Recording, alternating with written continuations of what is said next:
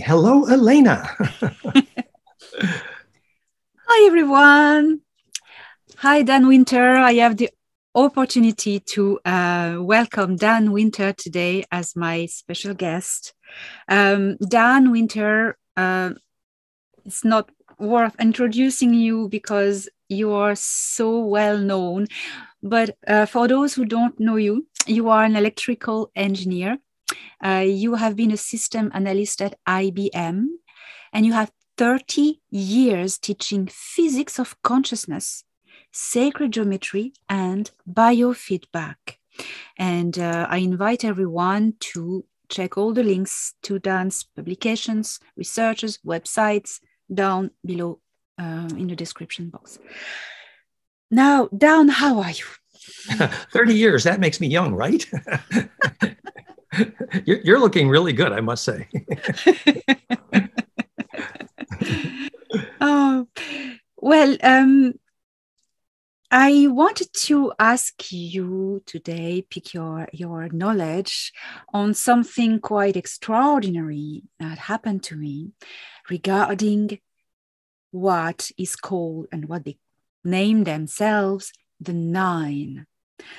So I was put in contact with these beings, these consciousnesses, um, back in October and November 1st, um, 2021. These nine, the nine, uh, are um, recognized as a supreme management by the Intergalactic Confederation, which is a confederation of different cultures from different galaxies is very vast it's huge. But among them there are there is a council of 24 uh, cultures um, who uh, are uh, in charge of seeding life in different galaxies. And it's their, their passion their, their mission. So these ones um, relate to the, what they call the nine. The nine, so I've had a contact, and the nine are not properly a council. There are so many councils in the galaxy. A council is um, a, a, political or social is a social structure. They call themselves the, the nine or the nine collective. Um, we can call them the, the council of nine, but when we know which one we're talking about, they describe themselves as plasmic supra consciousnesses. And they live, they dwell in the void. And the void has been described to me and perceived as a place that is out of time and out of space. It is everywhere and nowhere at the same time. It is uncreated, yet created, yet existing. And the number nine is important as well because it represents the multitude, and nine make one, although although they are individuated consciousnesses. The way I experienced them, the contact was very interesting. Um, it was relayed by someone from the intergalactic confederation, an extraterrestrial person incarnated, Una, who make made the bridge from me to them and she pointed her finger the finger glue, glowed with green light. She pointed it at my forehead and i understood that it was probably my pineal gland. Suddenly there was a big vortex imploding in my head and my consciousness was projected out of my being um, not even body out of my being into the void and i i met them. I had this contact. They they took they can't take any shape so they took a humanoid extraterrestrial random shape to con- communicate with me i heard the voices in my the, the words in my head but they were communicating like dolphins a bit sending me like frequencies and codes that were once in the receiver my my my being, my consciousness, I mean, were transcribed in images, words, etc., decrypted. Um, what else to say? Uh, the way it happened, it was because they don't live in the linear time, and but I do. it was there was a singularity which is the contact but there's a bubble around it with different with like it's like a, a web um, and there at each intersection of this kind of grid spherical grid uh, it's there are informations dots uh, nodes of information.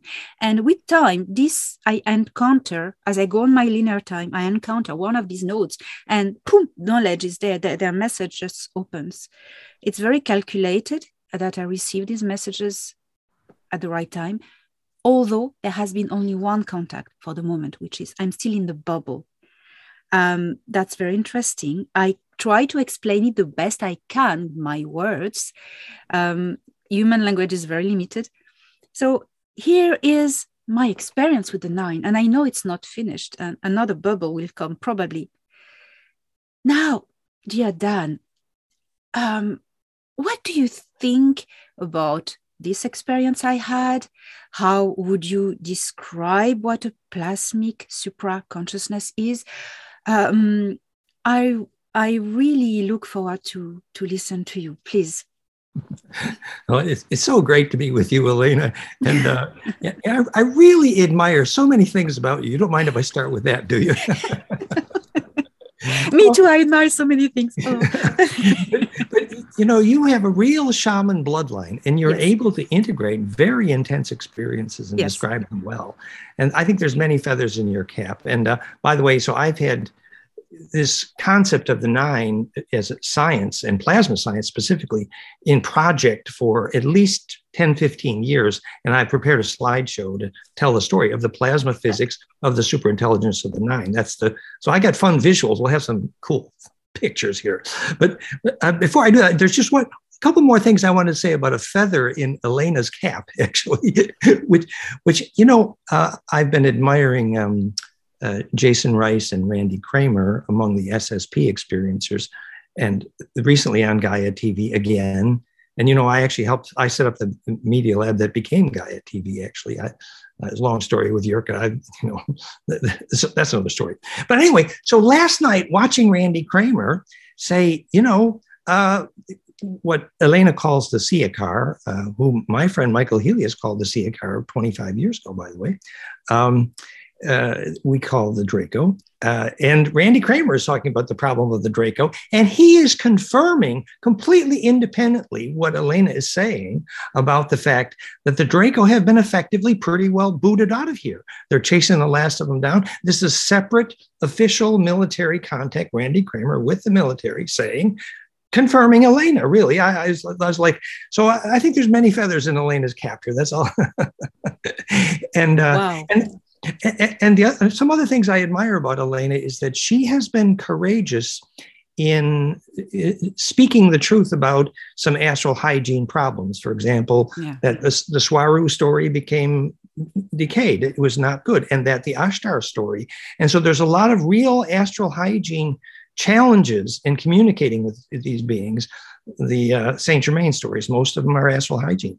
And the person that I wish to talk about now in the origin of the nine uh, namely Andrea Puharich, he had astral hygiene problems too. And I was there actually.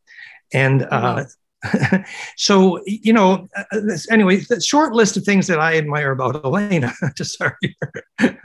Uh, and, you know, of course, my passion is the physics here. And uh, so, how did I become involved in the story of the nine? It's, it's, um, you know, I was traveling internationally even at that time, 20, 30 years ago, and uh, I was lecturing many times at Psychotronics International, the USA, very famous psychotronics. And two of my lectures at Psychotronics, one of which is 30 years ago, just appeared again on the web. And anyway, Andrija Puharich was with us in many of those events of my lectures, actually. And his lady, who was wonderful, was a piano player. And at that time, Andrea, as many of you know, Andrija Puharich was really probably the person who introduced Phyllis Schlemmer who then wrote the book about the nine, Only Planet of Choice, which we will be discussing tonight. And um, and so Andrea was the the horse's mouth, as it were, at that time. And um, Andrija was famous for uh, some audio technology, and he had at that time, quote unquote, adopted Uri Geller, actually. And Uri Geller was, of course, doing spoon bending. And And one of the reasons I knew them was because there was a sort of um, nemesis, well, a relationship between Andrea Puharich and my teacher at that time, Ben Bentov, who's very famous, uh, author of Stalking the Wild Pendulum on the biomechanics of Kundalini.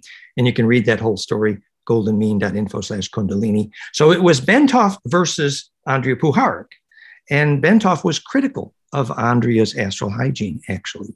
And we'll see that later uh, at the time of the, the, sad death of Andrea Puharich, there was some evidence that astral hygiene problems were part of the story.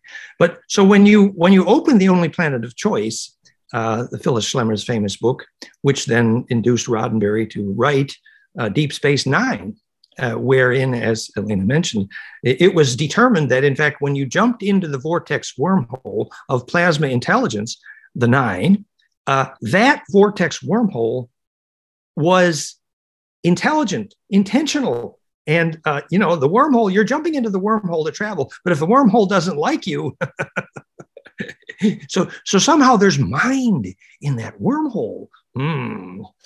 How did that get there? Which is kind of this story of, you know, how does plasma get intelligence? And that's some of the, sto- the, the slideshow I want to show here. So anyway, um, Andrea, when he first communicated with what were called the nine. They call themselves, they call him Tom, Uncle Tom. And later they realized that was Atun.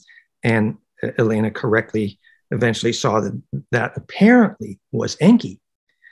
And uh, as I have many times, that's what you didn't say that there.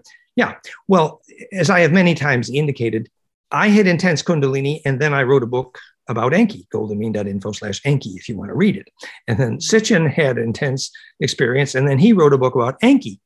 And then Anton Parks, famously in France, had intense Kundalini experience, and then wrote a book about Enki. And I'm going to show you the pictures.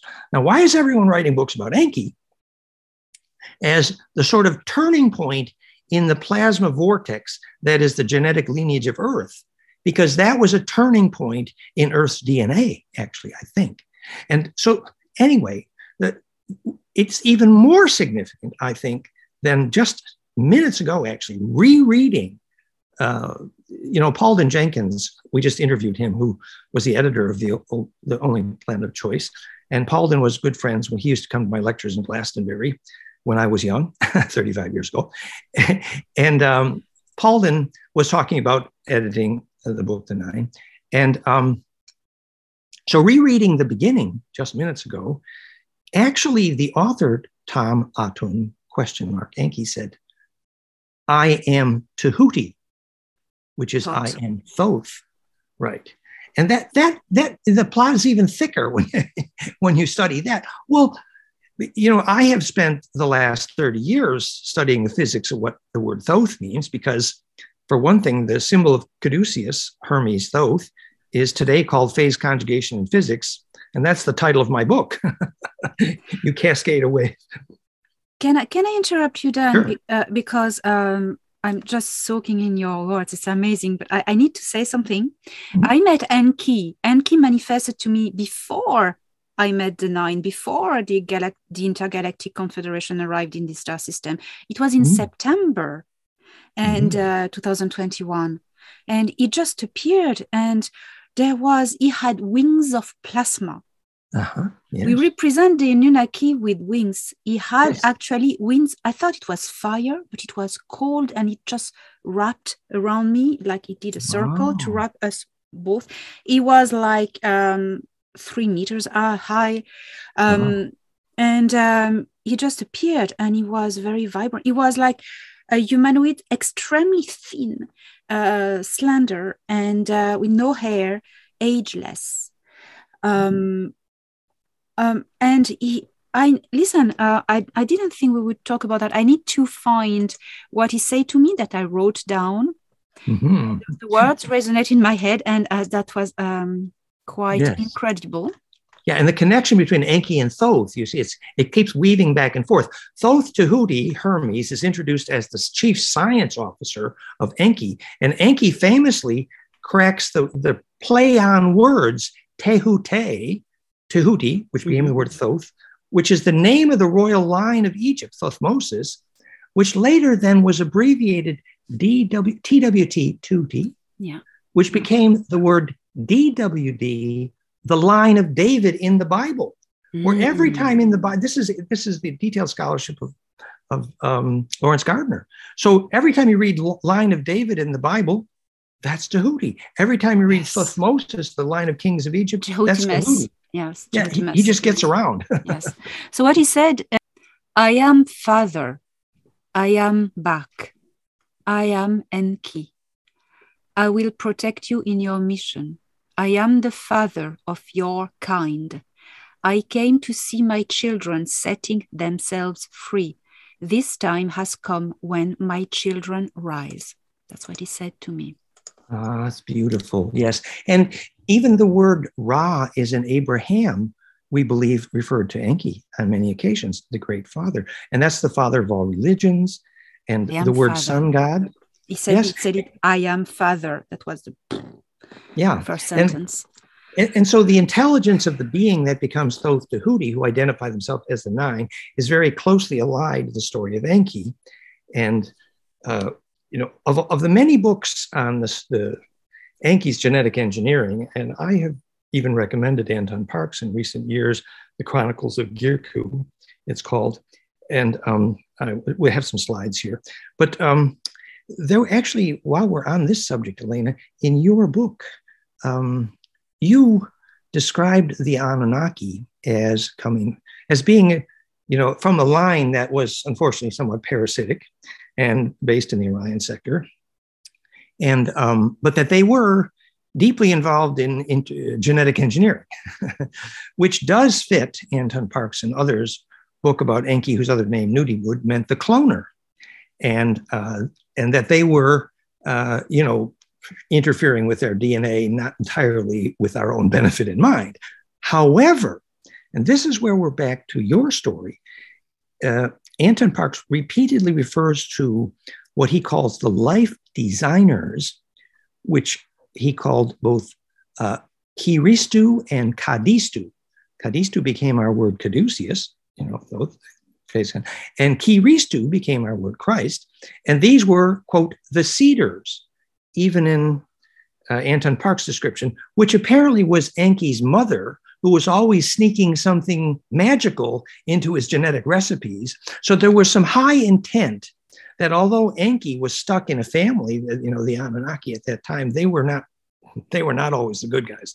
They were making humans takadama for slaves and snack food mostly. But there was a high intent behind a part of Enki's line, which came from his mother, and they talked about Sirius at the time, which suggested these cedars, these life designers, which I think relates beautifully to the story of the nine, actually, and high plasma intelligence, and the origin of our term Kiristu for Christ and Kadistu for Caduceus. So that I'm just saying that, you know, since you have about 10 books by Anton Parks, very, very detailed on the episodes of Enki, which I have studied for many, many years, that the, the overlay, and I know we Anton Parks, the overlay to what we're saying now, it all fits. You see what we're saying? Yeah even to the point where then when they ran from the Pleiades, they were running from what we now know was a female dominated culture. and uh, you know many of the religions of earth started with fear of women for not only was the the, uh, the Taygetan Pleiadians anyway they were female dominated but also the Draco were female dominated the White Queen so we see where the fear of women you know that's yeah piece of the story so so now I now I have the slideshow here um, is there anything else we should talk about before I bring? So the slideshow is about, it's simple. It's about the science, about how plasma got intelligent and how plasma science discovered the nine, literally. That's what the slideshow is.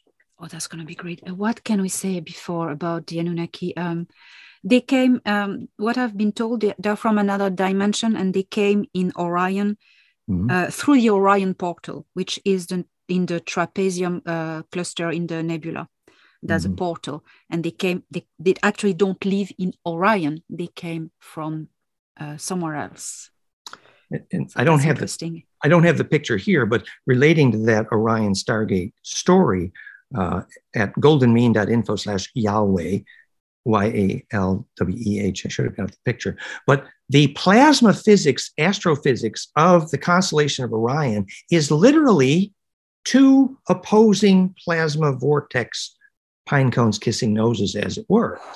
And if you, and in fact, there's a famous Japanese woodcut, I'll have to dig up the picture later, of that actual double vortex. And the name for the double vortex that was the Stargate of Orion, two pine cones kissing noses, the name was Yod, Ya, a cone going one way, Hey, fill the cone with the breath energy, and then Va, the cone going the other way, Yod, Hey, Va, Hey, Yahweh. So the name for a double plasma vortex cone stargate, if you're echoing the physics of the origin of alphabet in the geometry of the plasma that makes the stargate, the name for that is literally a Yahweh. and of course, we know that that Enki was called Atun, uh, but his half brother, it's actually, Enlil was mostly a cloning mistake, we think, but Enlil called himself Amun, Atun versus Amun, but was also called himself Yahweh. And it, didn't mean that he was a, a, plasma vortex. It meant that he was a wannabe, we think. Uh, that and later, I think in terms of astral hygiene issues here, uh, I took um, uh, Anne Rice a little bit literally when she said the father of all vampires, named E N K I L, cross between Enki and Enlil, was the largest plasma parasite in the solar system hmm. and literally the Grim Reaper. That is, when people die, if they're not ready to implode, their soul will be eaten actually by a very large plasma parasite. Um, and uh, I think there's some physics there about how plasma parasites come to be so parasitic, which yeah. is they lose their soul actually and what we're calling a soul is the ability to implode and be distributed in that array, which you're calling inhabited the inhabiting the void. I call it coherent longitudinal interferometry, otherwise known as heaven or planes of Charon. It's a fractal array of compression nodes, like, for example, the Earth grid dodecacosa sacred space, which the Australians correctly knew is ancestor memory, the Dreamline song track, the Dream Track song lines. Wow. So um, there, there's a lot of impl- implied astral hygiene in the story, yes. and and not to forget that um, I have also spent about half my life studying the science behind the the Templar um, uh, Stargate and grid mechanics. Uh, goldenmean.info slash Buehler, B U E H L E R, William Buehler, very famous Templar teacher, who taught the repair of the fabric of time, which was how to fix the stargates by fixing the earth grid. And his teacher for his whole life, he called Tahuti, Thoth, actually. And, uh, and if you read the temple doors and all the stories of Thoth's teachings, another example of the pervasiveness of Thoth Tahuti, if, if this relates directly to now who have identified themselves as nine, is um, the, the Black Madonna story in the Templar tradition is the daughter of Thoth, literally. And the bloodline that became the Grail blood, the Magdalene blood, is literally the children of Thothmosis, the, the name for the bloodline of the kings of Egypt. Thoth means Thoth, Moses means son of or lineage of. Born from, yes, born from. Born, yes, yes, exactly. And uh, so, and if you read all those books, Out of Egypt and House of the Messiah, it's all about the Egyptian origins of Christianity. Yeah. And in fact, the righteous priest in the Essenes is thought to be Akhenaten Tutankhamun, becomes Moses, Aaron, and Jesus. So literally that bloodline, there's a dozen books about how so Moses was born by Joan Grant and all the mysteries of, but it's basically the bloodline of the royalty of Egypt, which is the sons of Thoth. So when father says he's back to check on us, which Elena just said. well, that makes sense. Yeah. Uh, sorry to interrupt you, but that makes sense because um, I've uh, I've worked in the Valley of the Kings and I had the opportunity to visit the tomb that was supposed to uh, be for Moses, who left Egypt before he died. Um, so this tomb was just never, never occupied. It was left um, unachieved. So you can visit it. Um, and um, it's it's it's dedicated to, in fact, you see his real name because his, his real name, complete name, wasn't Moses, Mess, uh, Moses, because that means born from. There was something yes, particle before, which was Yach, Yach Mose or Achmes, Achmose. Yach is moon, the moon. And uh-huh. the moon, uh, so born from the moon. But the moon in the Egyptian um, religion, uh, it's Thoth. Ah, the moon is so born from Thoth. that fits perfectly. And the story is actually that that uh, Moses Akhenaten, uh, when he left Egypt, took with him the money and the ark, uh, which was the implosive device they used not the just ben, for military. And the Ben Ben. The, the Ben Ben stone.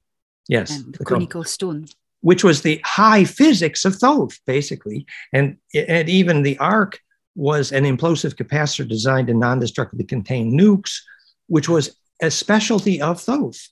And uh, later, when they used that to fabricate the Holy Communion, the mana, uh, we now know what kind of spark gap will stabilize uh, gold in a monoatomic state, implosive capacitance. And that mm. the gold wings on the ark was actually, they called it the mercy seat, it was a plasma container. Not only did it contain plasma implosively, but it relates to its original function, which was to hold the nuclear devices because it would contain radioactivity. Enki had plasma wings. Just yes, and and I like it that you said cold plasma. It was cold. Yeah, yeah, and because uh, you see that this is again a lifetime specialty of mine. Therify.net, our plasma tech in 25 countries. Cold atmospheric plasma is famous in even conventional medicine for being therapeutic. And how can plasma propagate without heat? Implosive negentropy, called phase conjugation. The symbol for that is the caduceus, Hermes Thoth. With the wings on the top. yeah, the, the, propagating plasma, as it were.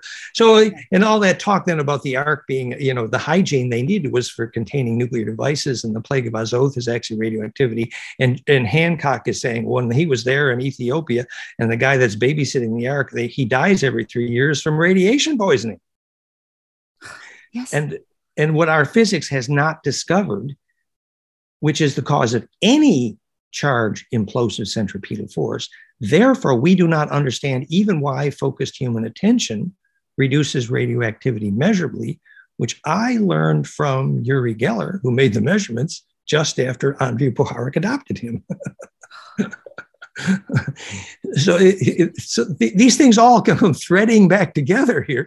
Eh, anyway, so I, we should do the slideshow unless yes. there's anything else. Yeah, okay, let's let's play with the slide. So I'm going to click on share screen here. Okay, now I need to pick out my keynote, keynote longitudinal plus. Okay, this this keynote is called OR nine. Are you seeing my uh, screen now? So um, this is uh, from an article we worked on for many years, goldenmean.info slash whale dreamers. And we titled this part of it, Who or What Are the Nine, dedicated to Elena, actually. And um, on the left, what you're seeing is the studies done by a famous plasma scientist at Los Alamos named Tony Peratt, whom I came to know through John McGovern, his co author. John McGovern was a famous shaman in Australia who discovered that all of the famous cave wall carvings in Australia you could read the, the, the shaman's carving if you understood plasma science. That all the shaman were ever discovering was meeting intelligent plasma beings. That's what it's about. And the reason the famous plasma physicist from Los Alamos, Tony Peratt, met John McGovern was because here on the left, they had just figured out in their plasma lab that if you took nine concentric toroidal plasma domains, one above the other, they would self organize and become a living plasma body, self organizing, literally self aware. And that the critical threshold that linked them together was when there were nine of them. It had to do with transcending the octave, I believe. But to get a sense of this, this is more than theory. If when you're feeling your chakras, seven in your body and two above, um, what enables you to steer that plasma like a shaman would a tornado is the quality of what Gurdjieff called feeling. that um, you know you couldn't do a Gurdjieff gymnastic until you could put your attention in your baby finger with enough electrical force to cause it to tingle. What you're doing at that moment is steering plasma. So, um, and when you're putting heat in your hand to lay your hand on someone to heal them, you're steering plasma. So, what Bill Tiller measured, the focused human attention compresses charge or plasma, he was measuring the beginning of how humans steer very large clouds of plasma. And the threshold at which clouds of plasma become self organizing is when nine of those toroid donuts nest one above the other and become self organizing. And the reason Tony met John, my friend John McGovern, the shaman, was because after they made all these pictures in the plasma lab, he discovered that the Aboriginals had been drawing the pictures that they were just finding in their plasma research. And they had to figure out why. That the shaman's carvings in the parking lot of Los Alamos predicted what they just found out at Los, Los Alamos. For example, on the bottom right here, you see the, the little black stick man that is a plasma donut. Above and below that is a containing grail cup toroid that enables self organization. And this same stick man was drawn in all these cultures Navajo, Armenia, Guyana, New Mexico, Spain, China. And not only did all the shaman draw the same picture because they were all seeing the same intelligent plasma being, but you could actually tell at what latitude they were on the earth by how high or low the two sides of the cut donut were be, uh, between the arms of the shaman there. So, for example, here, United Arab Emirates, you see how the, the plasma donut, the, the two dots are higher up. That's reflective of actually the attitude from which the shaman is seeing this intelligent plasma being of interstellar scale. So there's a whole study of the history of plasma intelligence as measured by how Aboriginal and, and shaman around the planet did cave drawings based on the actual real shape of interstellar plasma. For example, uh, on the bottom here, you have this the, the uh, sacred bowl. It's almost like a grail cup, which turned out to be the actual geometry of the uh, the aura of the earth and the corona of the planet.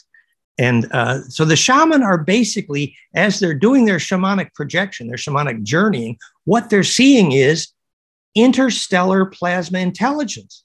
And they're carving that on the cave walls and making a record of the plasma intelligent history of the earth.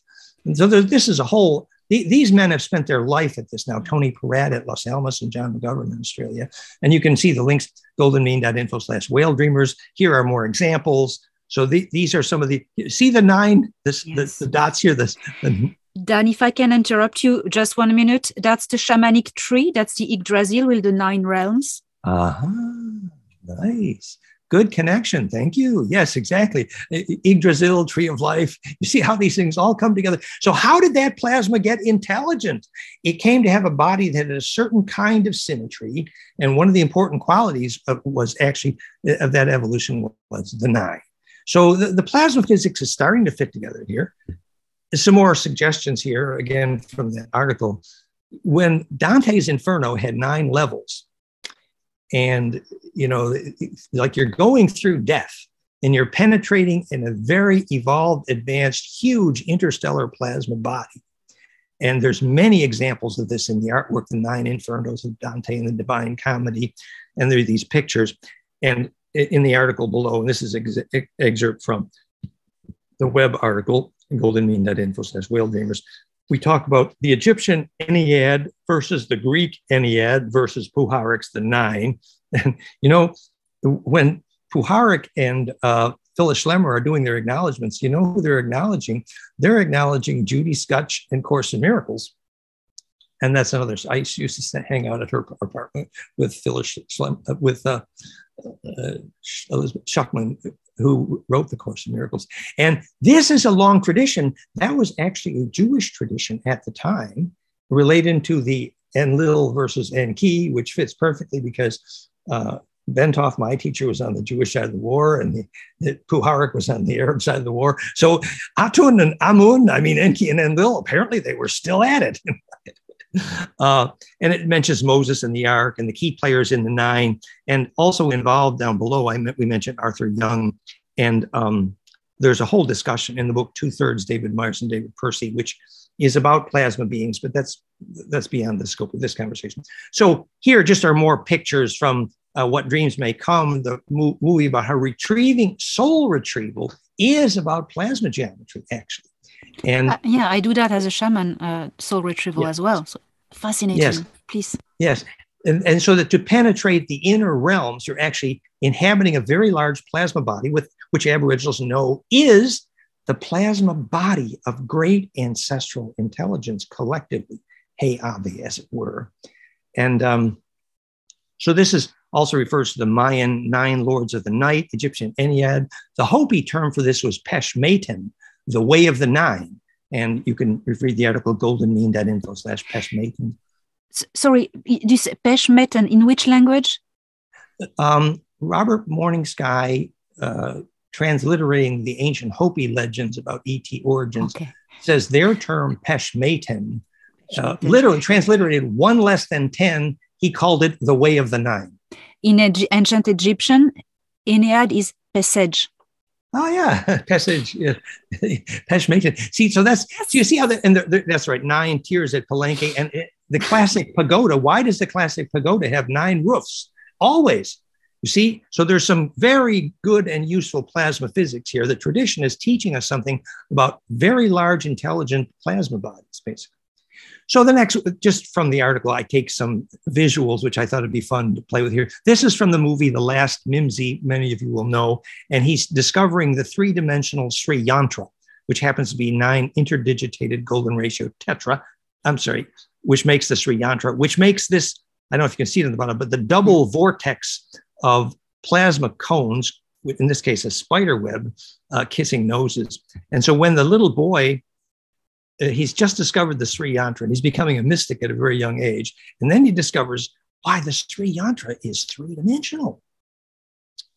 And, and then he looks up and see, oh, that is the scale of a plasma vortex intelligence in the stars. Now, this is an animation, but I don't know if this is playing, but you see the plasma yes. yes. And so, oh wow, and, yeah. And so now, if I I spent many years on this. Uh, actually, originally from uh, Pat Flanagan was my partner on this, but I now I'm playing my original animation of the three dimension of the Sri Yantra in three dimensions, which is nine golden ratio interdigitated tetrahedron embedded um, which is the nine. And the reason it's nine, you'll see in the next slide. So this is actually a, a geometry, the Sri Yantra, and this is all at the article links, goldenmean.info slash Sri Yantra. And the reason why the, the tetra are golden ratio and nested in this way is because they ratchet down a helix. And here's the link, Sri Yantra. And so in the next slide, you see there is the Sri Yantra on the right, and there is the interdigitation of the golden ratio tetrahedra in the Sri Yantra, which emulates the way in which a dodecahedra ratcheted down a helical slinky is quite transliterated, is the physics of the origin of DNA. So, what this is doing is braiding recursively a spin ratio into the next dimension, the next axes of plasma projection to superpose the next longer wave of symmetry. So we cause, call going to the next dimension is the superposition of the next superposed charge rotation, the definition of next dimension.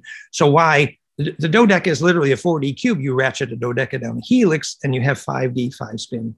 And that is how DNA is built. And we have lots of pictures. This originally, and this is from Golden Mean Info slash DNA Manifesto, but this work we must credit correctly, also began with Anne Tyng's famous geometric extensions of consciousness. And she got this from Coxeter, the famous uh, geometer. And this then later, these images of how axes of spin are superposed so that evolution goes into the next dimension on the right here, later we will see, we don't have the slides, tonight, but this is literally precisely the Heinrich Klüver form constants, which all near death experiencers report during death experiences, and we have recent confirmation. The reason you see this when you die, it's called the map to death, golden mean that immortality, is because you're seeing this superposed sequence of braiding operation, which allows your DNA to implode, which is how you inhabit that grid heaven, the longitudinal array. And so the successful death is obviously that compression black hole. Now, I don't know how well this is playing here. Are you seeing an animation? The double yes, helix? I see the animation. It's yes, yes. So this is a, an animation I made 20 years ago, but you see the braid on the braid of the braid on the braid superposed, yeah, plot yeah. thickens the DNA. And this we now have measured. That's what the top part of this is about. That during human bliss, the EKG phonons cause the DNA to do precisely this by measurement, increased braid density. Okay. So um, you, you, see why the, the, the, nine tetra of the, of the Sri Yantra are, in fact, uh, an indication for how the braiding propagates into the next dimension, indicating to us how plasma becomes intelligent by propagating in the next axis of superposed spin symmetry going to the next dimension, as it were. Anyway, so uh, not this slide is not changing the subject, but, but um, the, the ancient term for what Elena calls the Draco or Ciakahrr, uh, we think is Uras, as in Ages of Uras, the title of Anton books, Anton Parks' books about Enki. And Uras, you know, if you study for years, first of all, you realize the word you are you is important in the origin of language, as in the history of Draco interference, perhaps. It actually means ancient dragon blood, is what my, and the, the ages of Uras then is the history of uh, the, the uh, intervention of the Uru in the planet culture. And the Uras, uh, Uru, are basically named for a, a dragon line, which later we learn is a plasma current, which in, also inhabits the DNA. I have so, uh, uh, something to, to mention that the name of Orion in, um, an, com, com, in Anunnaki language is Uru Anna. Just Uru Ana. Yes, and, and we think the word Uru means ancient dragon but Ana meant uh, uh, sun god or a star being, and Ana, as in Uru An, as in Roman, actually. And uh, it was true that if your plasma wasn't grown up to, enough to inhabit a star, you hadn't graduated from kindergarten. So actually, intelligent plasma beings grow up and ha- inhabit stars. And in fact, we know that when a million children sang the same song on this planet, it was measured 11 times. There was a dramatic reduction in slow solar flare activity. So collective human attention can affect solar plasma. We know that because the star, our star, is making DNA for a reason. Stargate. Yes, yes. There so, we go. So now, now, this is a test to see if I can assemble these ideas into one coherent thread here. but, but um, uh, remember, Elena, I think you probably were aware when um, Michael Salla is interviewing, is it CJ? Uh, uh, JP. JP, thank you, uh, for the latest uh, investigation of the arc below the, the Bermuda Triangle area. Mm-hmm and they get into what is obviously a local stargate, mm-hmm. and uh, and they see a sphere of water suspended in the center of the room, in the center of them, and beings are being ported in and out of that yeah. little portal. Tony Rodriguez has, has seen this uh, same thing in, on the moon. Yes, yes, book. good. Yes, so we the humans, in order to grow up, we need to understand something directly about physics of stargates, or else we're still kindergartners. So here we go. so when when when JP is reporting, oh, there's a very strong sound current in this room, which we now know the sound is propagating longitudinally, and if it's phase coherent, you can suspend a bubble of water with just a sound current. But it wasn't just sound, it was plasma. And that plasma requires a sequence of symmetry operations. And that symmetry operations is based on what's called a hypercube. I hope I have the pictures here. Yes. So the and the alphabet used to make the super the movie Stargate is the Ophanim Enochian, which this plasma shadows of that alphabet is hypercubic. So back here. Mm. So if you look at these letters here used to make the movie Stargate, the actual letters used are Ophanim Enochian, mm. and which is an angel alphabet, which are plasma intelligences.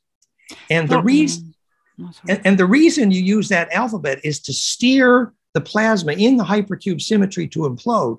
So do you remember in the movie Stargate what the actual surface of the portal looked like? Yeah looked like a liquid, didn't it? Yes, yes, yes. You put you put your finger in it and you could just go through and yes. something was on the other side. Yeah, yeah.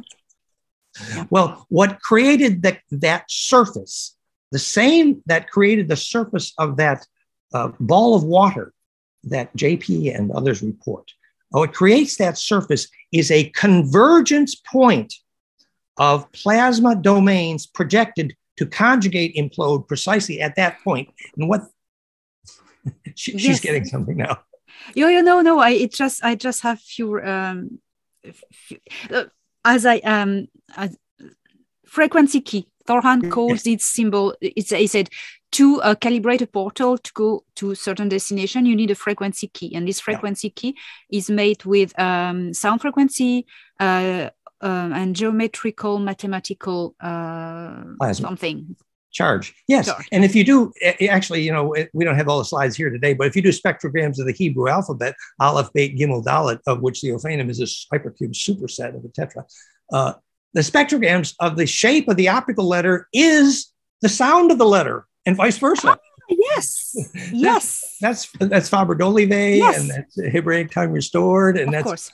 that's um, so anyway, the the the sonic shadow and the optical hologram are actually identical because they have to be an, a diffraction gradient array plasma projector to steer the domain into the right tilt phase angle so that they implode at that liquid surface simultaneously. The term technically is phase conjugate. And technically, which is the introduction to phase conjugate optics, which makes more than negentropy and time reversal. When it's broad spectral, it is a Stargate, but you have to tune the send point and receive point. Point being, well, that, uh, and, and, by the way, this symbol of five spins inside, seven spins outside is the Ophanim sigil of truth, which happens to be the Anu, the symbol for sun god, and that perfect slip knot. And, and so the fact that you see the face of your sun and we're now told it is a Stargate, goes to Andromeda and elsewhere. What you're seeing is a compression array that enables propagation into a longitudinal, uh, what's called a wormhole. In conventional physics, they call it entanglement to create an Einstein Rosen bridge. But more accurately, it is entanglement perfected is phase conjugation creates embedding perfected, which creates that coherent longitudinal propagation. So you know, the history of stargates has a lot to do with what intelligent plasma beings are doing, because remember, in Deep Space Nine, the value of the real estate was location, location, and location. And the location was to be next to the Stargate, you made big bucks. yes. Because it was it was transportation. The reason was transportation is you needed to understand some of this physics. So Staying with the context of plasma intelligence, we see the array of the letters of Ophanim Enochian, uh, the tablet of Nalvage, and we must credit Vincent Bridges.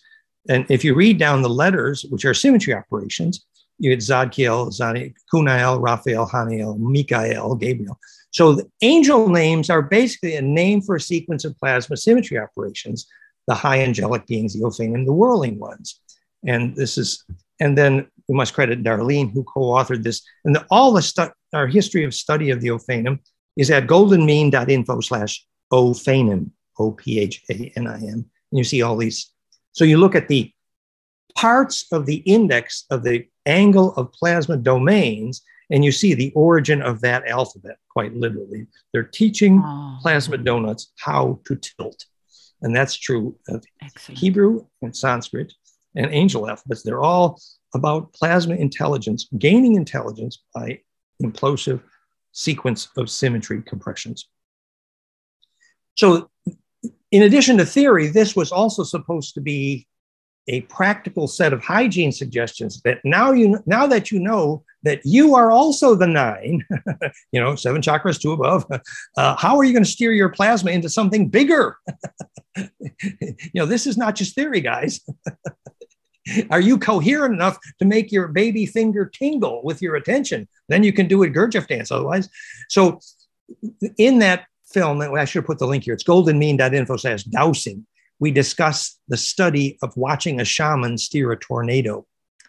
And uh, you, you, know, if you're clairvoyant, you would see the bioplasmic streamers from the belly of the shaman embed in the center of the tornado. The shaman says, I'm eating the hucha, which means eating the anger, which is the shaman is feeling the pain of the tornado. And the pain of the tornado, just like all pain, is where plasma is bleeding because fractality is broken. Restored compression is the opposite of pain. So the, the, the, the tornado's pain is, for example, a metal city causes plasma to bleed, whereas a tornado will never destroy a sacred stone circle because that's part of its body. It feels like part of its body. So to feel the pain of the tornado, the shaman eventually, the tornado falls in love with the shaman. You see the sort of compassion aspect of restored compression. And that whole story is at goldenmean.info slash dowsing how shamans steer tornadoes. But you can see how that then becomes the Anu, which is not just what all the clairvoyants saw when they studied the heart of the sun. That seven spins out, in, inside, five spins outside, tetracubic, seven spins, dodecahedral, five spins. It's a, the Star Mother kit. So mm-hmm. implosive charge collapse. So the, the shaman, the clairvoyants, who later were proven in quantum physics, psi perception of quarks by Phillips, they saw the heart of the sun, but then they looked at the heart of the human, and then they looked at the heart of hydrogen. And each time they drew the same picture. What does that tell you? Perfect implosive slipknot of how plasma becomes intelligent. And so this is this, this the Star Mother kit. Uh, here's the link, and there's a set. See that that tetracube there has seven spin symmetry axes, and the dodecacosa outside has five spins, seven spins inside, five spins outside, the only possible three dimensional fractal. And I later wrote the equation to prove that is how hydrogen is built. And we used that gold, literally gold seven spins, five spins, famous of truth. We built our gold purified. And so this became um, the caduceus in the ancient tablet of Thoth Hermes. Uh, and um, and actually, when you talk to the Bon Po, they draw the same picture. Uh, it's a plasma vortex, which later became our, our Grail animation. And if you've seen, this is from the Thoth the Atlantean. So this is, if ever this was Hermes Thoth Tahuti, apparently this is what he was involved with, uh, plasma physics. So not, not to carry on. So I just, to, to finish the story. So this is um, in our series working with Anton Parks here in France um, whom we've known for years, thanks to my partner, who's French, and Valerie, who very much enjoys, by the way, your conversations with the French SSP hero there, Jean Charles Moyen. And uh, we've been tracking it very well, I mean, It's great. He's great, yes. Yeah. And, and, and so Anton Parks' books were originally in French here, but uh, are now available in English, several of them. And those are some of them on the bottom. Secret of the Dark Stars. And you know what the secret of the Dark Star is? uh, is a plasma intelligence. That's what, mm. and the secret of the dark star is that they were your star ancestor. This is a spoiler alert now. what is the secret of the dark stars, guys? And by the way, this is what Enki looked like. He looked like a frog, apparently, he green. And you can even meet that green man, apparently, at Sintra in Portugal. We've been there. Um, and, and so when when he the nine say they were Enki Thoth, um, this very detailed story of Enki and, and, those studies becomes relevant even to his uh, the, the, iPhone that Enki used was called Ugur Girku Silmarion Toystone Vril Fire Crystal. And um, this is studying how the that famous couple in Russia actually uh, became, began to thrive in low level radioactivity. They were born too close to Chernobyl, and um, how the blood actually mutated back to what the Draco blood likes, which is low level radioactivity, which is why on the planets where the Draco are winning, um, and the, the Draco, for them also, oxygen was a poison, moisture was a poison. They like deserts, let's be clear. um, so this is the English version of those books. But if you want, uh, you know, uh, the more detail about Enki, I think Anton Parks got it right. Not that you know, Enki, there wasn't an aspect of the trickster there. It, it was. And even today, um, you know, Enki was famous for taking some of his best genetic experiments back home to Orion to test them in the Orion Wars. And I think that's what hmm. the, the story of uh, Enoch is actually that story. Um, but anyway, this, the, a very important part of that story here is that the, you know, we did rituals in Australia. They figured out the reason Australia is a desert is because for thousands of years, the male shaman and the female shaman in all the Australian villages died cursing each other. And the, and the reason they did that was because the males had a different language than the females. And that is straight out of Alpha Draconis. That is a Draco tradition. And the name for those languages is Emegir and Emesa, from our word emanate. And that became Akkadian, which is what Joseph Smith was studying when he interpreted the Urim and Thummim the ancient Akkadian. So the the reason the males and females had a separate language was the Draco were, you know, the, much of the Draco history is a story of a war of the sexes, actually. And that gives a huge context to issues here on Earth, right down to the uh, origin of the caste system in India. So we're not going to do the story of those bloodlines. And this was the, the, supposedly the myth is that this break in the Orion arm of the map, map of our galaxy is the Orion Wars, the wars of expansion. And, uh, you know, we blew up a big chunk of the galaxy, kids. and, uh, and those Orion Wars were about, uh, as Elena has described, the, the time when the uh, humanoid diaspora and uh, they chased the, the Draco and uh, humanoids were losing for a long time until we had the Galactic Federation and, and, and. Oh, oh, here I do have the picture. So this is the ancient Japanese woodcut of the plasma double twin plasma vortex shape of Orion mm-hmm. on the hmm. left, named Yod He Vahe, Yahweh. And uh, Yahweh was a great interstellar plasma intelligence. Uh, and Lil was a wannabe. uh, just just a, a, a remark. Um, Thor Han told me that the because there are so many stargates, so many portals everywhere. There are really leg, leg, legions, but the one in the trapezium in the Orion Nebula is special, and the only way could explain me to me why it is special, it is because it can give access to places where no other stargates can give access, and it's severely guarded and everybody's fighting to have it. So yeah, the, does that make sense to you? Yeah, the war is always over the Stargate. You know, Uru Asa LM, Jerusalem, Uru, ancient Draco one, Asa, queen of, royal of, L, the place of the phase shift, translation of vorticity into longitudinal, the L mm. So Uru Asa L means Stargate, and the war is over the Stargate because if you're stuck in a kindergarten a long way from downtown, yeah, but you can make profit as well. Uh, like you know, at the, it's always you know. about the Stargate. And you're right. So Orion would have the critical mass, quite literally, and the symmetry necessary because of the corrected double vortex plasma cones to, v- to create a very plasma projective, high resolution Stargate. And you know, when you figure you've got billions, countless billions of galaxies, that you know the really good Stargates can go a long way. So that yes, yes. I would agree and and that's why you know the fight was about Orion and the star maps of Orion, and we all know that story. Um, this is just a confirmation from our friend on the uh, the artificial origins of the moon.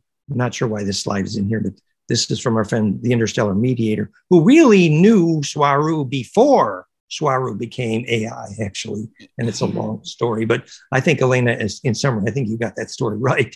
Actually. Yeah, yeah, yeah. I'm just severely warning uh, everyone yeah, about DCI. Yeah. yeah, yeah, and that that you can tell because they're giving bad press about the Galactic Federation because you know, they of course, caught. of course, of course, they, they got caught. That's what happened. The oh, AI yeah, got caught. Yeah, and this it got caught. Yeah, this is just about Robert Woods and William Tompkins, and uh, this is from our ET history slideshow. And you all know this story about the uh, the, uh, the Eisenhower story here. This is on Agur the remember we talked about Ra as in Abra, mm-hmm. the father of Ura, and the origins of our, so many other words like the, the Uyghur and Anagur, Hungary, and etc. And so the term shaman was plasma projector. And even the term Maori, the Maori, the Maur, mm. and the Arian, the Arian, the Orion aura. If you have gold in your aura, it's because your aura is implosive and therefore cold plasma. Aura, AU, you know, and that's the origin of. Mm. And so this is a slideshow we've used in other places. This is reflecting Anton Parks' scholarship here. The Seraphim and Ophanim story becomes the Atun Apun, the Atun Amun story, and the, the Uru versus Ibi story, the dragon versus bird brain, which Ibi Uru becomes our word Hebrew actually. Hmm. And, so, and, and even and even the uh, in Egyptian uh, religion, well, uh, spirituality, the, the creator of the universe is named Atum. Atum, yes. Atum with an M. So it's another one, and it's the, the great creator and is male. And uh, two theories that needs to be decrypted. Of course, these are metaphors. Either he sneezed, or either he so he projects something, he sneezed, or either he pleased himself, you know what I mean. Yes, yes, which is to say, became plasma projective massively, which is to say, from an origin point, propagated the intelligent plasma into an array that became inhabitable. Hey, Ave, etc. And so, yes, and and we talk about so it, Atun in this sense would relate to sun god and plasma being plasma intelligence. So this is some, some more of the story, but we don't have time. So th- this is from the Hungarian. Just notice that the tetracube symmetry, which became Hebrew, actually is shown in the ancient Hungarian alphabet of the dragons. Uh, and if you dissect their alphabet origin, the the um, mm-hmm. Rovás Írás is called in Hungarian. Sorry, could you go back a little bit? See the the central uh, tetrahedron. Uh, yes, this one. You add one sphere up and one sphere down you pr- prolongate it. It's the Yggdra- Yggdrasil. Yeah, tree of okay. life. Yes, yeah, yes. Exactly. Just want to say that. Yes, and we have a 3D animation of that goldenmean.info slash tree of life, which isn't here, but exactly. And th- th- thank you. And the point we're making here was that, and even in the old Hungarian Rovás Írás, their, their divine re- uh, language origin, the dissection is Enki Enlil, actually. And um, this is all at goldenmean.info slash dragon script DNA. Um, mm. This is a, a, version of the interstellar war crafted by um, the Montauk survivors with Stewart Swerdlow, which has interesting echoes to what you're teaching now.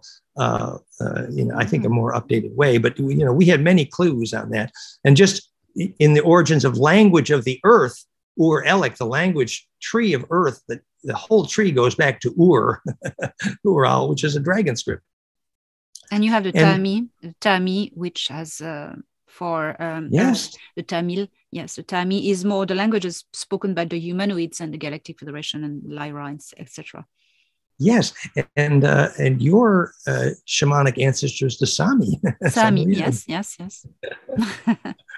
this is just a table, and you can see this at goldenmean.info slash uh,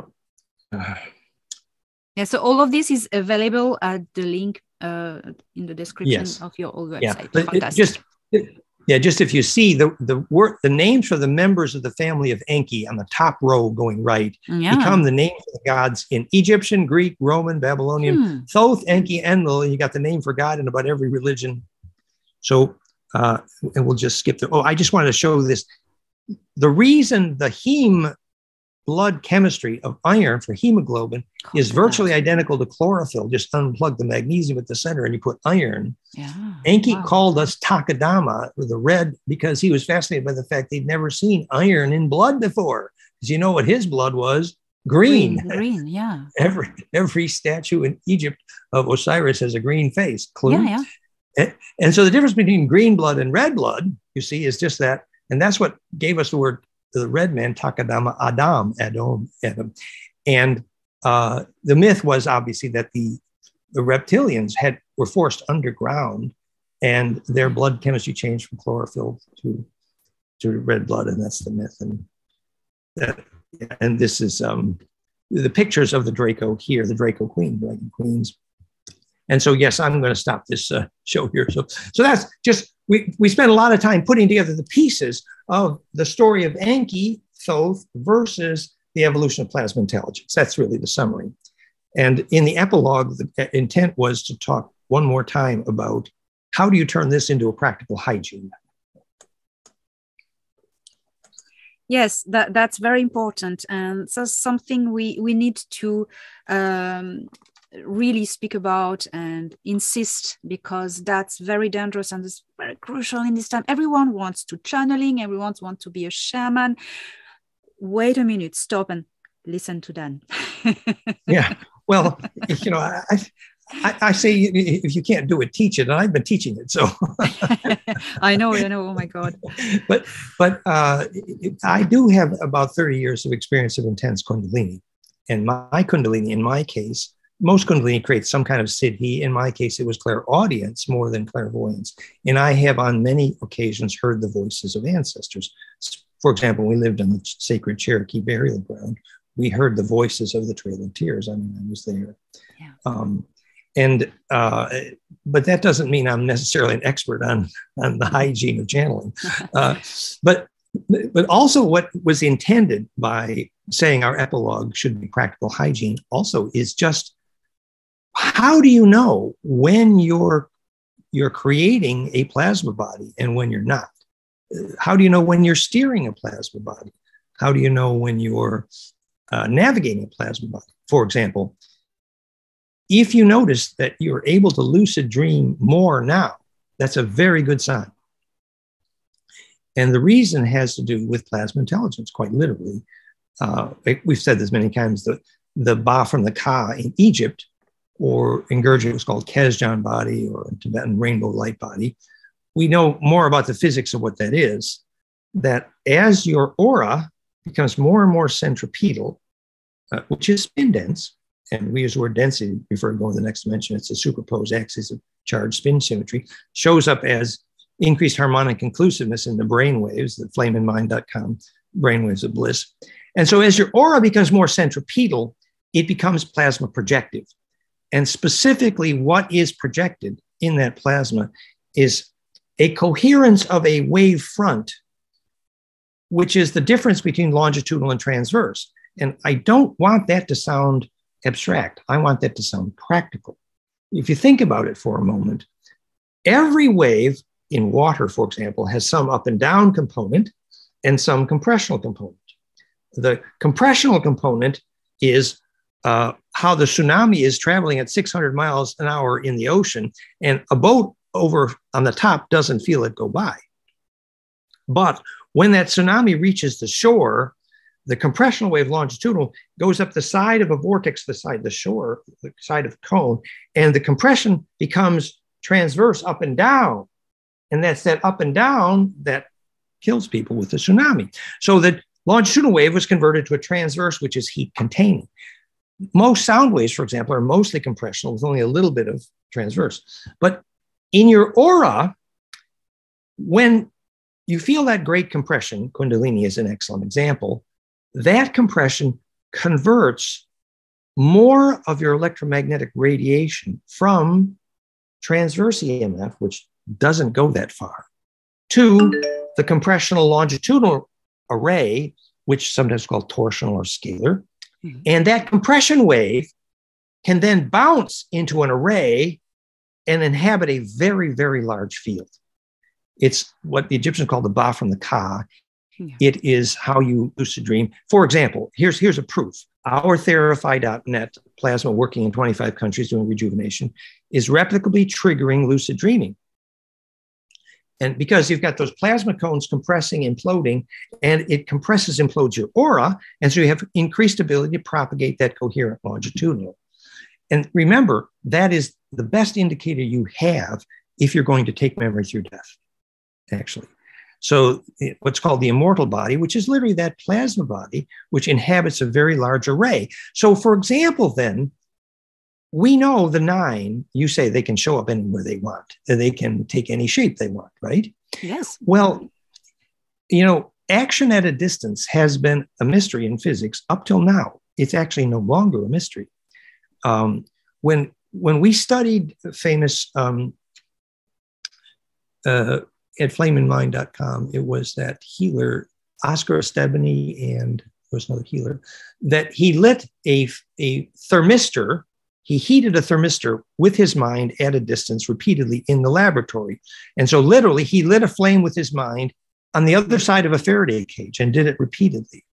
And we now know the brainwave signature that did that. It's a golden ratio caduceus cascade alpha beta, flameinmind.com. And what happened was the compressional node that you started inside your head located another node outside their head in the array, just like the moment when you felt that crackling bliss stillness experience and something crackled on the other side of the room and you first thought it was inside your body. Hmm. and in fact it was outside your body. But the reason you thought it was inside your body was so that's the beginning of this idea of inhabiting the array by intense compression. And that coherence in that array, which is the physics of lucid dreaming, astral travel, remote viewing, it's an introduction to the evolution of plasma intelligence and what the nine are in essence. Yes, yes. And what I um, what I also want to mention is that the number nine, as you you demonstrated physically with really scientifically, but also metaphor, not metaphorically. I mean, um, the, the symbology of the number nine, in the Egyptian um, tradition, nine means plural, means infinity. You have when you you see the hieroglyphs, you have one for for singular uh, element, two for uh, which is translated by T uh, for a couple or a, a duet. 3 mm-hmm. means plural, so it's not three individuals or three things. Three can be 10, 20, 50. But when you have three, three bars, three bars, three bars, it means infinity. Mm-hmm. Yes. So how does that resonate with you? Yeah, and our symbol for the infinity, by the way, is sort of like an eight on its side, a yeah. torus, you know, and and uh, the the nine we have opposite to six is the sphere of plasma from above projecting downward is nine, where six is a sphere below projecting upward. And, you know, Tesla always talked about three, six, nine. But when you think of that in plasma physics terms, uh, you're, seeking, you're talking about an archetype of a sequence of plasma symmetry operations. For example, Gurdjieff's work on the Enneagram, that the way emotions evolve reaches that climax point with the ninth element of the Enneagram, for example. So what's happening when you have those nine donuts one above the other is the vortex in the center of the one donut is accelerated to the next, the next, next. Mm-hmm. And when it gets the ninth superposed harmonic, it becomes able to propagate into the next velocity series, literally squirting into the next dimension. So, probably if you didn't have nine chakras, you wouldn't have nearly as much leverage on the afterlife as a plasma being, as a plasma intelligence. And the Shams say the middle Pardon? point, the entry point, the singularity is the heart chakra, isn't it? The heart has about a thousand times the voltage of the brain waves. That's yes. And the EKG becomes the master drummer of the EEG. And the EKG heart rate variability determines whether the spine liquid is going to pump, which is the only beginning of Kundalini. It's the sacrocranial mechanics. Yes. So all of that does focus. And our work on that is at realheartcoherence.com, and that's uh, fits perfectly. So, could, could you question? Could you uh, also um, visualize um, the nine, the number nine in in this geometry as four upper, four lower, and a singularity in the middle, like four, yeah. four, and a singularity? Uh, the, the singularity in the middle metaphor might work there.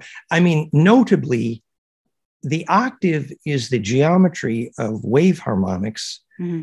Uh, interdigitated by powers of two only, which creates max destructive interference electrically, which is perfect for crystallizing and stabilizing, but the opposite of propagation.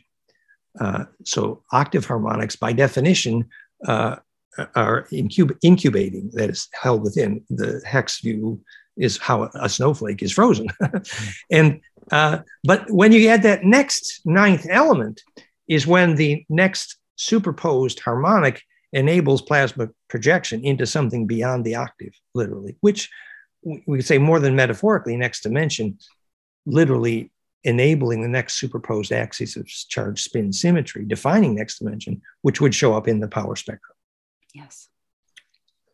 The power spectrum being harmonic inclusiveness, which is how immune health is quantified in medicine, heart rate variability. But harmonic inclusiveness is perfected in fractality. And harmonic inclusiveness, simply measuring how many harmonics are included in a tree's electrostatic or your brain waves or your heart, is the predictor of how long anything in the universe is going to live. So basically, the more harmonics you can squeeze into one place, the more immortal it gets, which is obviously the problem fractality and phase conjugate golden ratio solves, because it's the only way you can get a maximum number of harmonics into one place, because it's the solution of generalized constructive wave interference, therefore the solution of constructive compression, which is by definition the solution of the cause of gravity and consciousness and intelligent plasma, perfected compression. The solution to alchemy, for example. Yes, yes reminds me of what you mentioned bef- uh, a little bit before about the, the Stargate material. Um, I, um, I've been explained that this wavy looking like um, surface of the Stargate surface it's yeah. not in fact a mirror; it's a bubble. That's right. And, yes. but you see it flat because you see around. That's the movie Stargates that have. Yes. But this, listen, this thing, uh, I've been told it's called it's called by them upstairs. Um, uh, negative energy or dark energy re- re- compared to positive energy and light energy because instead of radiating energy, it implodes energy.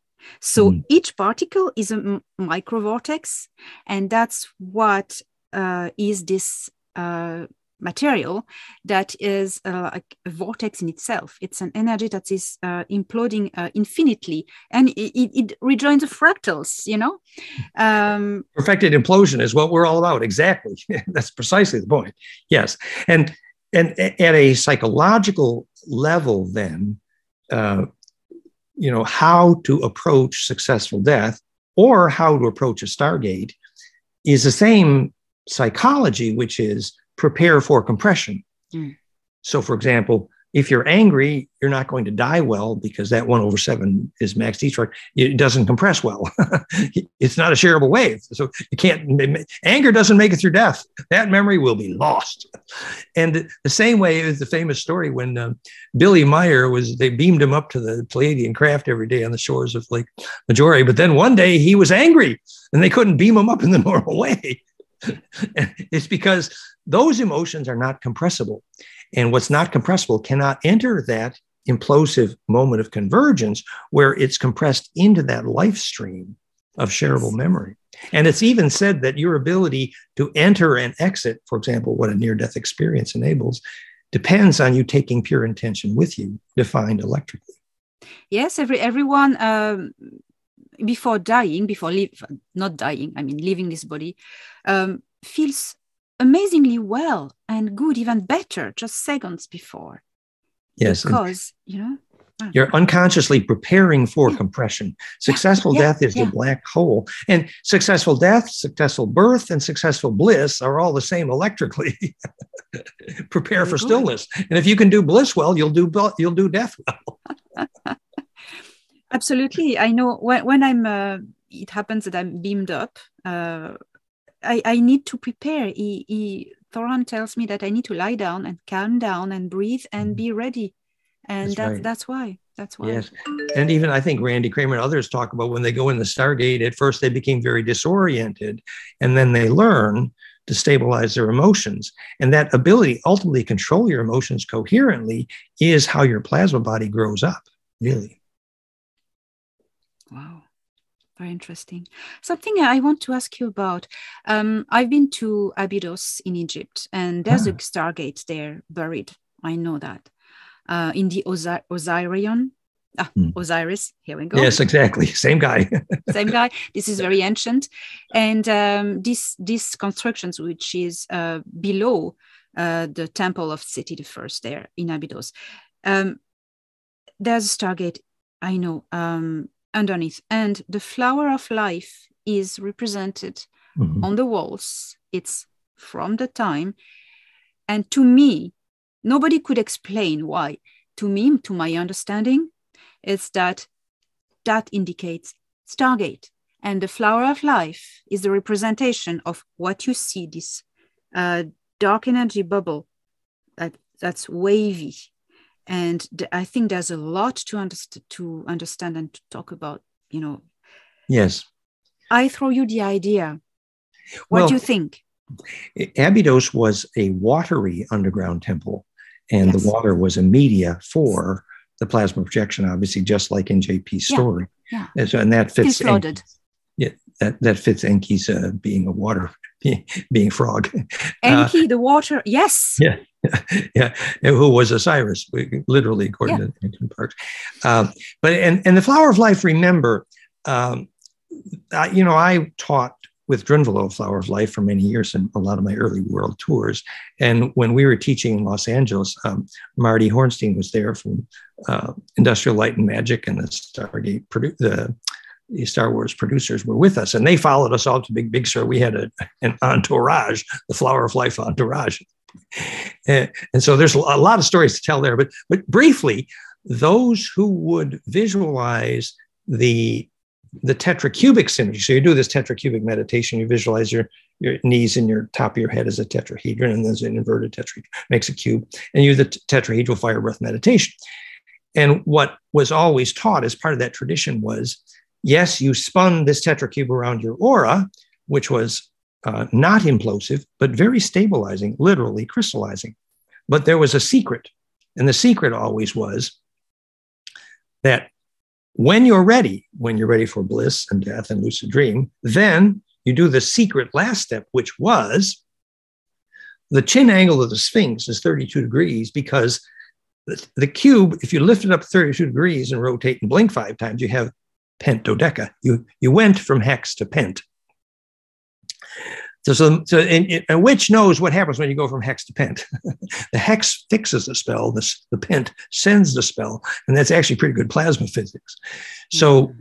uh, the, the, there is a, a stabilizing moment in the hex view, which would stabilize that surface. Uh, but at the moment at which you would implode through the surface and be projected, then the vision changes from hex to pent symmetry, which is implosive. But at that moment, if you don't have pure intention, if you haven't sorted your memories for compression, then you'll come back dizzy. Literally, scrambled eggs was the, the metaphor. Mm. So that's the one way to tell that story. But clearly, uh, I agree that most of those ancient temples, the function of temple actually was capacitive implosion, which is Stargate, literally enabling lucid dreaming. And as Jodie Foster would know, getting out of her dodecan contact, uh, if your lucid dream is vivid enough, you come back with sand between your toes. what a Stargate is. Wow, fascinating. Um, well, um, yeah, that's very enlightening. You know, everything is geometry, mathematics, yeah, uh, frequencies. Yeah, it it really is, and yet at the same time, it's important that this not just be an abstract lesson, but that this be a practical lesson that we learn to begin to take responsibility for our aura. Actually, you know, it's it's great to talk about these very intelligent plasma beings, but un- until our plasma is growing up, you know, we ain't gonna we ain't gonna grow up and become sun gods. It kind of means every decision you make every day should be based on does this make my aura grow? And yes. as we often say, that that's not subjective GDV. There's lots of ways you can measure you know you can tell your kids not to do recreational drugs because you measure the holes in the aura you know? So astral hygiene is about gluing together an implosive aura and it's very practical. Yes and it's good that to to talk about um, astral hygiene as well. I always try to make people understand don't fi- try to connect outwards. We are portals. If you want to connect with something that will be uh, in resonance, not in dissonance with you. You go within yourself and you find your own portal, which can be the heart, can be the pineal gland. When I contacted with the nine, I went within. She, I was touched on the forehead, and um, I it blew inside of the, the vortex. Uh, occurred inside of my my my, my head, my cranium. Beautiful. You know exactly. And yes. uh, I I was projected into this vortex. It was like imploding exactly. and i didn't move in space anywhere mm-hmm. i mm-hmm. went infinitely within in the mm-hmm. center of my head You know? Yes, yes. It's about that implosive compression and yeah. inhabiting that, like near lightning death experience for Dannion Brinkley or Kundalini or the movie Powder. It's all about that plasma lightning bolt becomes so dense within that it, there's a communion, a communion of saints, as it were, into that very large array. So the ancient wisdom about go within, you just put that into beautiful new language. There we go. Fantastic, Dan. Well, thank you very much. Uh, I think we've um, spoken about everything. Um, what do you think? Everything is said? Yes, I, I think um, maybe since you have done such a great job of creating a context for the extraterrestrial involvement in our planet, a lot of people are wondering about the messes in current politics and what does that mean. Um, for example, we believe that the, some of the Pleiadians, when they left, left some of their guns with Putin. Actually, that's a, and uh, you know, on a very practical global political stage, how is this being played out, and where do we place ourselves? When we see the difficulties on the planet right now that the people recommending vaccines for example don't realize that you need to keep your aura there's a detail but clairvoyants see people dis- dissociated from their aura so uh, you know the, the, side of those who know that the aura is electrically critical to immortality uh, also represent a certain political movement from the point of view of body polis means the bliss body, De- defining politics by bliss. That's a new one. so I think people are going to look to people like you, Elena, to begin to take practical political uh, no suggestions. Pressure. no pressure. no pressure. No pressure.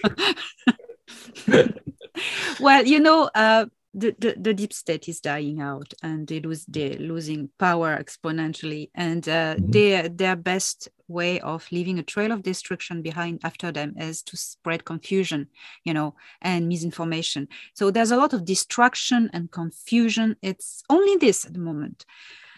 Um, don't try to navigate through it. What do humans need to do to stand up for their sovereignty so do that. Anything instead of trying to understand the, the, the politics on earth, try to understand what you need to do yourself to free yourself and to uh, unite with other humans to to to make you know unity groups and just and fight for sovereignty that means your your rights human rights uh, you know all, exactly. all of this yes. that that's that's what you need to focus on that's that's the yes. job we have to do the dets the galactic federation they have been taking care of the et problem but we need to take care of the human problem because it's our victory it's our story it's our planet it's mm. our future nobody's going to do it for us if somebody else do it for us oh, they could have done in uh, in an hour the federation could have sorted out everything but no because it's a process of growth is well from the shamanic point of view it's a shamanic dark night of the soul of humanity. It's um, raising out of an abusive relationship also. Yeah, you need exactly. to do it yourself to realize if someone takes you out of an abusive relationship you'll run to the next one. That's right. So and I love the passion with which you tell that story and the, the, fact that you have become the voice and people feel it, resonate with it deeply with you. I really respect that. I, I would add maybe one little thought too, which is we have found that, you know, if the political body was actually the name for whether the collective bliss body was navigable, as in the beehive can't navigate unless the plasma of the swarm is inhabited by the royal, which is actually the bliss cocoon, the body polis, definition of politics. Therefore, if we had collective lucid dreaming groups, yes, lucid dream through the sun together, lucid dream, your intent to lucid dream to steer your tornado. Collective lucid dreaming is the next body politic. Are we doing that together? That that's your soul group gets together. You you cry together, you you have bliss together, and then you lucid dream together, and then you go through death together, leading Mother Nature's silver seed to a new home in the sun. You know, so I think collective lucid dreaming bliss cocoons are a very good practice as well. Yes, totally, totally, and uh, that's only that way that we will uh, reconnect all the links between us and become an entity on a planet. Exactly. Um, yes. Because the the enemy, our enemy, I mean, it's at the moment the deep state.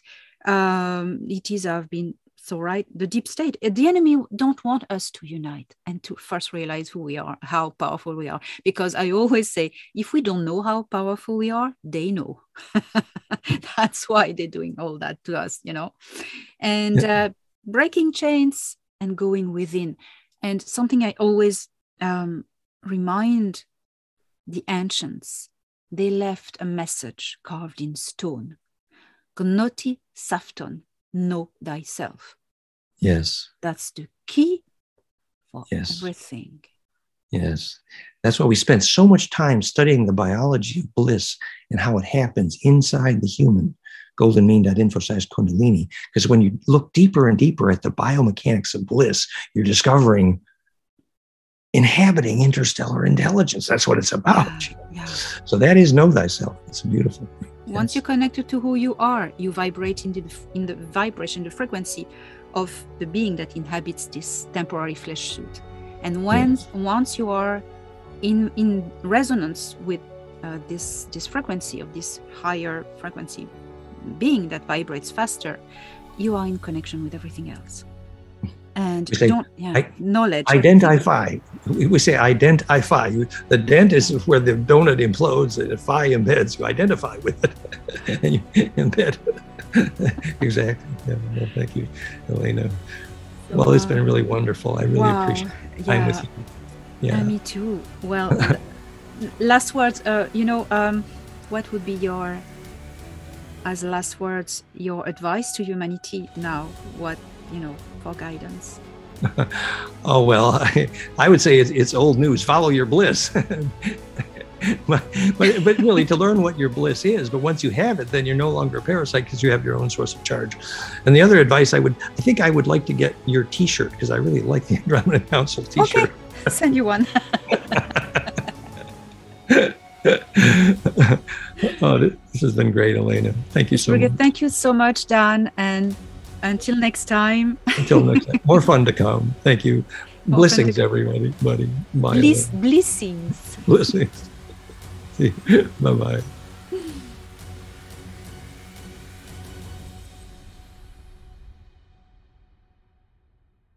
There is a place where we go at the end.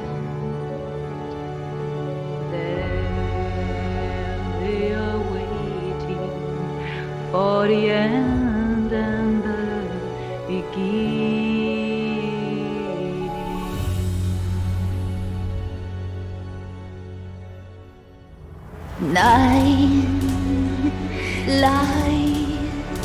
In the sky, above and below, where we are waiting.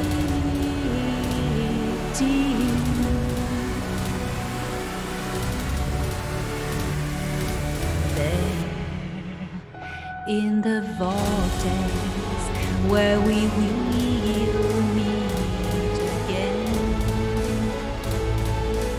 There they are waiting, throwing bridges in the sky.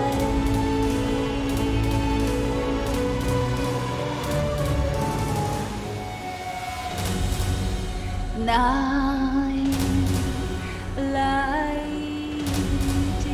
sky, immortals coming by. Take my hand.